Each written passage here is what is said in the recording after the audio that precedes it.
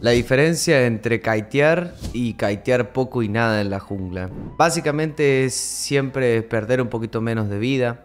Inclusive aunque el kiteo no lo hagas correctamente, puedes ahorrarte bastante tiempo en la jungla. O sea, ciertos campamentos se hacen mucho más fácil. De hecho, por ejemplo, los raptors, en caso, bueno, de los agarracos, termina siendo mucho más sencillo kiteando el campamento y no perder tanta vida. Fíjate que el otro que no kitea se para y autoataca simplemente ya perdió el trámite. Aparte, fíjate que la diferencia no es tan bestial. En timers, minutos de tiempo, vamos más o menos igual. 2.48, 2.49, perfecto, todo lo mismo. La diferencia está en que uno recién está terminando los lobos y el otro ya está empezando el blue. Fíjate de hecho que ahí pulió ambos campamentos, tiró una Q, pimba. Obviamente esto es una exageración y el tipo eligió no kitear adrede. 11 segundos de diferencia, 103 puntos de HP.